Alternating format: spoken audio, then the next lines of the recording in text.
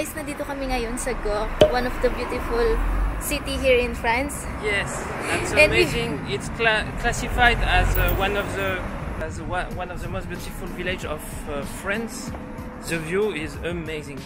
It's a village. Uh, it's built on the mountain, like uh, on the reef. How you Yeah. cliff? Cliff. The cliff. Yeah. Ayan guys. Amazing. That's really like Italian, like Provençal. We found it accidentally kasi ayaw ni Adrian sa Aix-en-Provence kasi daw very modern. So dito kami nagpunta. Ayan guys, dito kami kakain ngayon sa The Outsider. It depends if we have reservation. Here's the reservation number. And guys, ito yung way niya papunta sa restaurant. Diba super nice? Ang cute. Guys, sarado yung resto kanina. And dito kami kakain ni Adrian. Say hi, love. So, dito ka muna kami kakain sa tabing restaurant niya.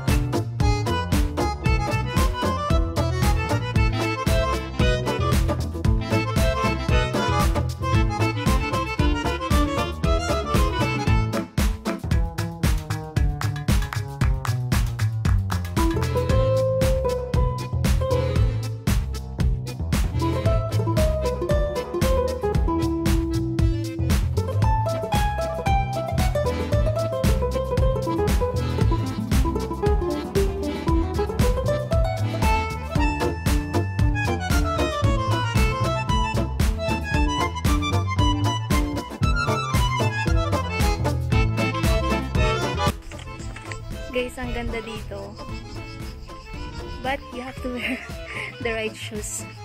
Kasi puro bato yung sa daanan. So, bumili muna ako ng sapatos, espadrille, para hindi masakit sa paa.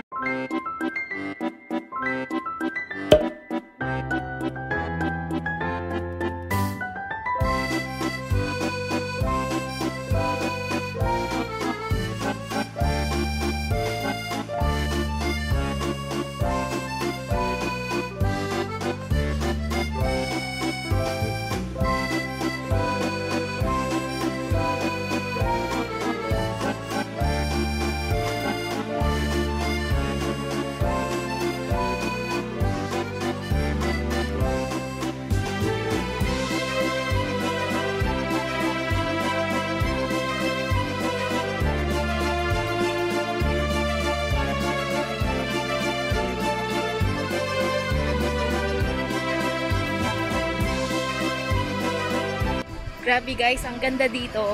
Parang wala ka sa France. And it's like, looks like Italy. yes. Looks like Italy. Kind of. Pero malapit lang to sa amin. It's like 2 hours and a half driving. So, kapag hindi namin natapos na ma-tour to, babalik na lang kami.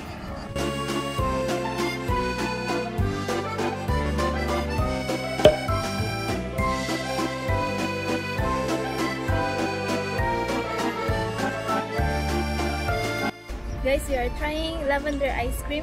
Yes. I thought it would be purple because um, lavender is purple, but there is no colorant. It's really natural. So that's why it's not purple because finally, when uh, when you walk and you eat lavender, it's not purple the aroma. So I'm happy because okay, it's not purple, but it's natural color with no no artificial colorant. Cheers!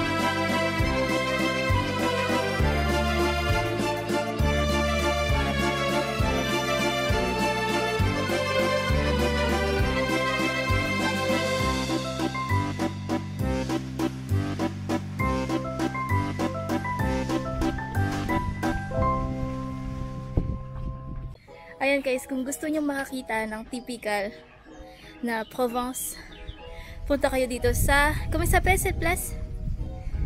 Gold. Punta kayo dito sa Gold. And it's really nice. May enjoy nyo. Ayan guys, tapos na kami sa Old City and papunta kami ngayon sa Lavender Farm. So papunta kami sa isang abbey or kasi meron lavender farm doon. So it's around 7 minutes from the Old City papunta doon. You can also walk but it's like 2 kilometers away from the Old City.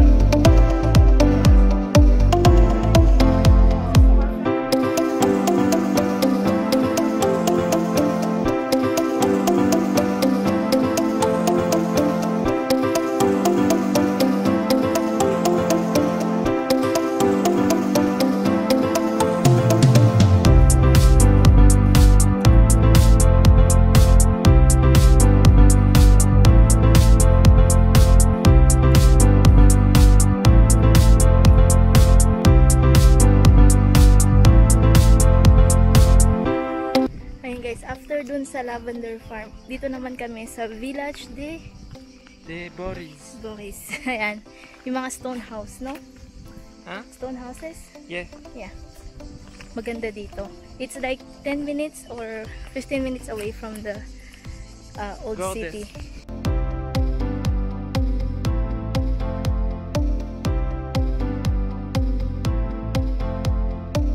You have to pay how much how much lang 6 euro by person for adult. for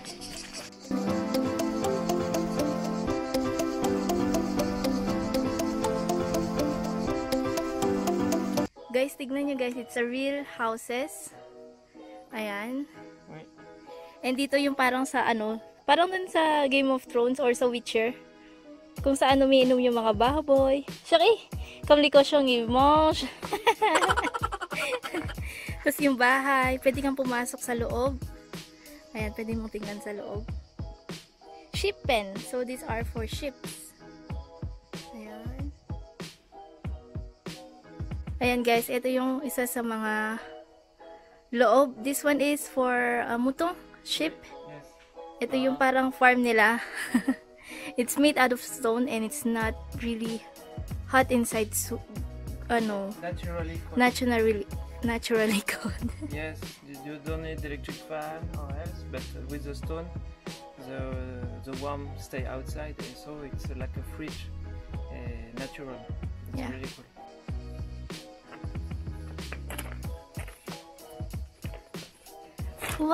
wow! Look at that! How they lived before! Guys, that's how they lived before. everything is small. I can't believe it. They are so small at that time.